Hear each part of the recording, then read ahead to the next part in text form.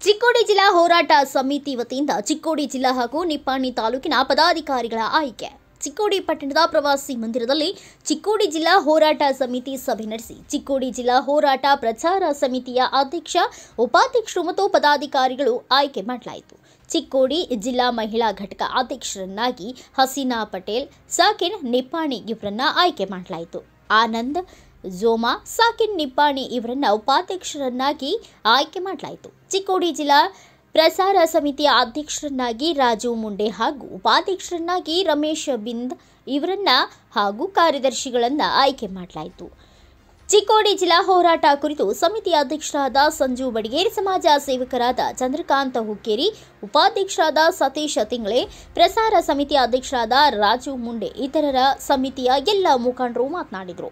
ಸಮಿತಿಯ ಅಧ್ಯಕ್ಷರು ಮತ್ತು ಸಮಿತಿಯ ಮುಖಂಡರು ಮಾತನಾಡಿ, ಚಿಕ್ಕೋಡಿ ಜಿಲ್ಲೆಯಾಗುವವರೆಗೂ ನಾವೆಲ್ಲರೂ ಸದಾ ಹೋರಾಟಕ್ಕೆ ಸಿದ್ಧರಾಗಿದ್ದೇವೆ. ಇದೇ ರೀತಿಯಾಗಿ ಮತ್ತಷ್ಟು ತಾಲೂಕುಗಳಲ್ಲಿ ಮಹಿಳಾ ಸಂಘಟನೆಯವರು ಬೆಂಬಲ ಮಾಡಬೇಕು ಹಾಗೂ ಈ ಜಿಲ್ಲೆಯ ಎಲ್ಲ ಮುಖಂಡರು ಹಾಗೂ ಪದಾಧಿಕಾರಿಗಳು ಹೋರಾಟ ಮಾಡಬೇಕು ಎಂದು ಮಾತನಾಡಿದರು. ಈ ಸಂದರ್ಭದಲ್ಲಿ ಚಿಕ್ಕೋಡಿ ಜಿಲ್ಲಾ ಹೋರಾಟ ಸಮಿತಿ ಅಧ್ಯಕ್ಷರಾದ ಸಂಜು ಬಡಿಗೇರ್, ಸಮಾಜ ಸೇವಕರು ಚಂದ್ರಕಾಂತ್ ಹುಕ್ಕೇರಿ ಗೌರವ ಅಧ್ಯಕ್ಷರಾದ ಸಂಜಯ್ ಪಾಟೀಲ್, ಸಂತೋಷ ಪೂಜಾರಿ ಬಸವರಾಜ್ ಸಾಜನೆ ಪತ್ರಕರ್ತರಾದ ವೀರಪಾಕ್ಷಿ ಕೌಟಿಗಿ ಮಠ್ ಹಾಗೂ ರಾಜು ಮುಂಡೆ, ರಫೀಕ ಪಠಾಣ ಪ್ರತಾಪ ಪಾಟೀಲ್, ದುಂಡಪ್ಪ ಬಡಿಗೇರ್, ಸತ್ಯಪ್ಪ ಅಮುಲ್ ನಾವಿ, ಕುಮಾರ್ ನಂತ್ ಮತ್ತು ಇತರ ಎಲ್ಲ ತಾಲೂಕಿನ ಪದಾಧಿಕಾರಿಗಳು ಉಪಸ್ಥಿತರಿದ್ದರು.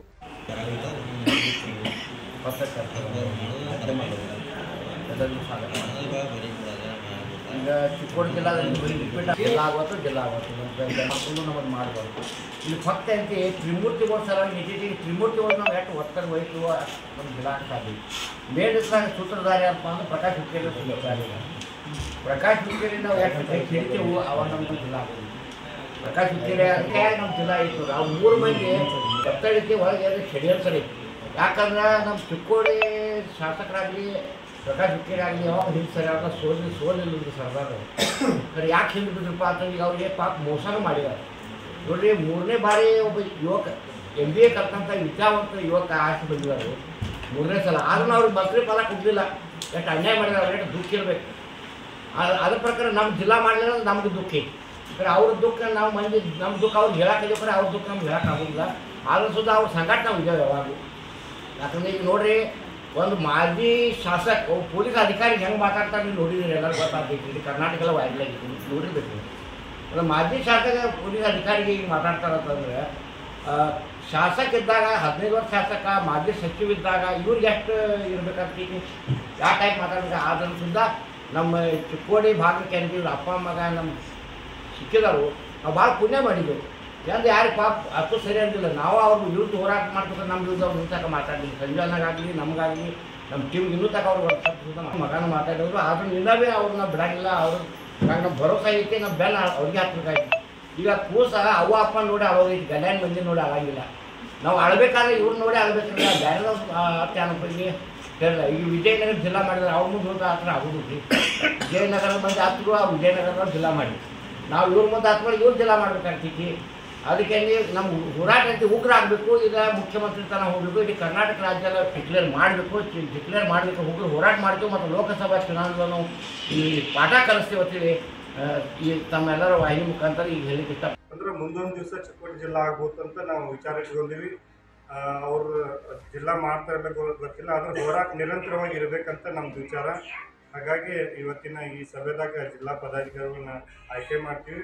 ಮುಂದೂ ಕೂಡ ಈ ಹೋರಾಟನ ಇಲ್ಲೇ ನಿಲ್ಲಿಸೋದಿಲ್ಲ ಬರುವಂಥ ಡಿಸೆಂಬರ್ ಬಜೆಟ್ ಅಧಿವೇಶನದಲ್ಲಿ ಕೂಡ ಸರ್ಕಾರಕ್ಕೆ ಹೋರಾಟ ಮುಖಾಂತರ ನಾವು ಒತ್ತಾಯನ ಮಾಡಲಾಗೋದು ಅವಶ್ಯಕತೆ ಬಿತ್ತಂದ್ರೆ ನಾವು ಶಾಸಕರ ಮನೆ ಮುಂದೆ, ಎಂ ಪಿ ಮನೆ ಮುಂದೆ ಧರಣಿ ಕೂಡ ಮಾಡ್ತೀವಂತ ಈ ಸಭೆ ಮುಖಾಂತರ, ವಾಹಿನಿ ಮುಖಾಂತರ ನಾವು ಈ ಭಾಗದ ಜನಪ್ರತಿಗಳ ಗಮನಕ್ಕೆ ತರುವಂಥ ಈ ಸಭೆ ಮುಖಾಂತರ ಗಮನಕ್ಕೆ ತರ್ತೀವಿ.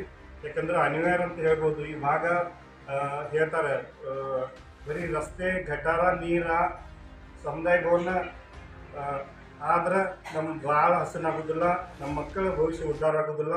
ಈ ಭಾಗಕ್ಕೆ ಏನು ಬೇಕಾಗಿತ್ತು ಅಂದ್ರೆ ಈ ಮಡ್ಡಿ ಭಾಗ, ನೀರಾವರಿ ಆಗಬೇಕು ಮುಖ್ಯವಾಗಿ. ಜೊತೆಗೆ ಎಜುಕೇಷನ್ ಆಗಬೇಕು, ಉದ್ಯೋಗಗಳು ಬರಬೇಕು, ಆಸ್ಪತ್ರೆಗಳು ಬರಬೇಕು. ಅವಾಗ ಈ ಭಾಗ ಅಭಿವೃದ್ಧಿ ಆಗಕ್ಕೆ ಸಾಧ್ಯತೆ ಅಂತ ಈ ಭಾಗ ಶಾಸಕರಿಗೆ ನಾನು ಹೇಳಕ್ಕೆ ಇಷ್ಟಪಡ್ತೀನಿ. ಅವರೆಲ್ಲಿ ಹೋದಲ್ಲಿ ಹೇಳ್ತಾರೆ. ನಾವು ಜಿಲ್ಲಾ ಮಾಡ್ತೀವಿ ಜಿಲ್ಲಾ ಮಾಡ್ತೀವಿ ನಮ್ಗೆ ಓಟ್ ಹಾಕ್ರಿ ಆರಿಸ್ಕೊಡ್ರಿ ಅಂತ ಅದು ಬರೀ ಸೂ ಹೇಳ್ಕೊತ ಹೋಗ್ತಾರ. ಓಟ್ ಸಲ ಸೂ ಹೇಳ್ಕೊತ ಹೊಂಟಿದಾರು. ಇದನ್ನು ನಾವು ಖಂಡಿಸ್ತೀವಿ. ಇನ್ನು ಮುಂದೆ ಅವರ ಈ ಜಿಲ್ಲಾ ಮಾಡ್ತೀವಿ ಅಂತ ಯಾವತ್ತೂ ಹೇಳ್ಬಾರ್ದು ಅವ್ರು. ಯಾಕಂದ್ರೆ ಅವ್ರ ಕಡೆಯಿಂದ ಆಗುದಿಲ್ಲ. ಅವರು ಎದ್ದು ನಿಂತು ಮಾತಾಡ್ರಿ ಅವತ್ತು ಅಂದ್ರೆ ಅವ್ರು ಮಾತಾಡ್ಲಾಗ್ತಿರಿ.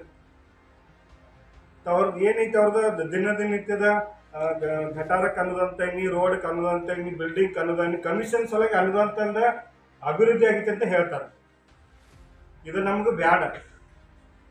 ಈ ಜಿಲ್ಲಾ ಮಾಡೋದ್ರ ಮಾಡ್ರಿ ಇಲ್ಲಾಂದ್ರೆ ನೀವು ರಾಜೀನಾಮೆ ಕೊಟ್ಟು ಮನೆ ಹೋಗ್ರಿ ಅಂತ ನಾವು ದೊಡ್ಡ ಪ್ರಮಾಣದಾಗ ಆ, ಆ, ಜನ ಇರುತ್ತೆ ಪೇಪರ್ ಪೇಪರ್ ಮೊದಲೇ ವಾರದಾಗ ನಾವು ದೊಡ್ಡ ಪ್ರಮಾಣದಾಗ ಕಾರ್ಯಕ್ರಮ ಮಾಡಕ್ಕೆ ಎಲ್ಲ ತಯಾರಿ ಮಾಡ್ಕೊಂಡೆವು ಎಲ್ಲ ವ್ಯಾಪಾರಸ್ಥರು ಈ ಭಾಗದ ಕೆಲವೊಂದು ಕಾಂಗ್ರೆಸ್ ನಾಯಕರು ಇರ್ಬೋದು ಬಿ ಜೆ ಪಿ ನಾಯಕರು ಇರ್ಬೋದು ಸಾಹಿತಿಗಳು ಇರ್ಬೋದು, ಮಾಧ್ಯಮ ಪತ್ರ ಮಾಧ್ಯಮ ಪತ್ರಿಕೆ ಮಾಧ್ಯಮದವರು ಇರ್ಬೋದು, ಎಲ್ಲರನ್ನು ಕುಡ್ಕೊಂಡ ಒಂದು ಕಾರ್ಯಕ್ರಮ ಮಾಡಿದೆವು. ನೀವು ಒಂದು ನಮಗೆ ಸ್ಪಷ್ಟವಾಗಿ ಹೇಳುವಂಥದ್ದಾಗಬೇಕು ಜಿಲ್ಲಾ ಮಾಡ್ತೇನಂದ್ರೆ ಮಾಡ್ತೇನಂತ ನೀವು ಪ್ರಮಾಣ ಮಾಡ್ಬೇಕು. ನೀವು ಹಾನಿ ಮಾಡ್ರಿ. ಈ ಕ್ಷೇತ್ರದ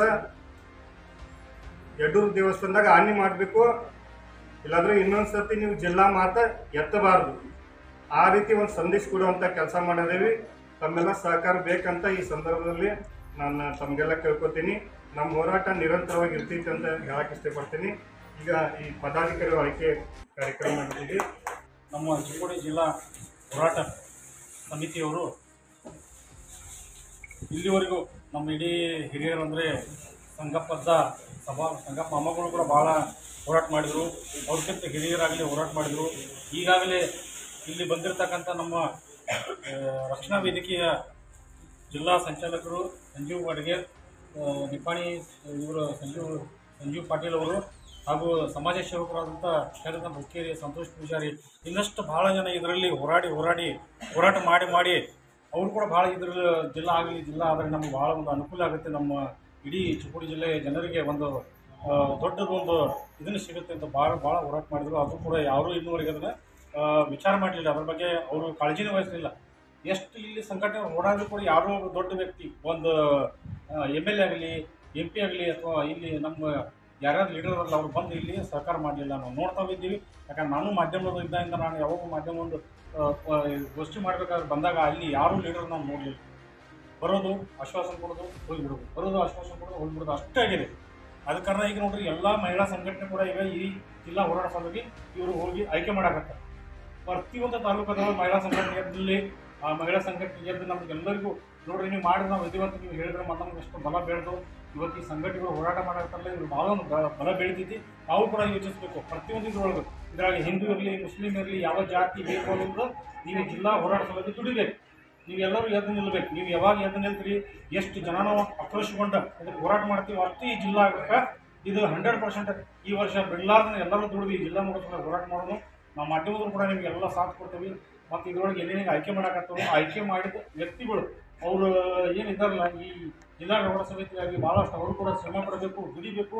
ಇವರು ಹೇಳಿದ ಒಂದು ಮಾ, ಇವ್ರು ಏನು ದುಡ್ಕೊಂಡು bureau reporter Raju Munde, Bharat Vaibhav news Chikkodi. Thanks for watching. Read, discuss, and debate with editor Dr. Yan Prashant Rao. Wanted reporters in print, digital, and visual media for Bharat Vaibhav Daily newspaper, BV News channel, and BV Fast Web News from all the talukas of Karnataka. If interested, send your resume to 9482633333.